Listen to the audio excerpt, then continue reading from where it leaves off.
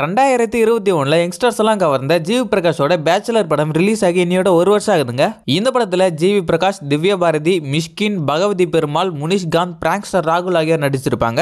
இந்த படத்துக்கு சித்துக்குமாரும் ஜிவி பிரகாஷும் சேர்ந்து மியூசிக் போட்டிருப்பாங்க. இந்த படத்தோட டைரக்டர் சதீஷ் செல்வகுமார். இந்த படத்தை ஆக்சஸ் ஃபிலிம் ஃபேக்டரி தான் ப்ரொடியூஸ் பண்ணியிருப்பாங்க. சக்தி ஃபிலிம் ஃபேக்டரி தான் இந்த படத்தை டிஸ்ட்ரிபியூட் பண்ணியிருப்பாங்க. பேச்சுலர் படம் இப்போ சோனி லிவ்ல அவைலபிளாக இருக்கு. பேச்சுலர் படம் எத்தனை பேருக்கு ஃபேவரட்னு கமெண்ட்ல Thank you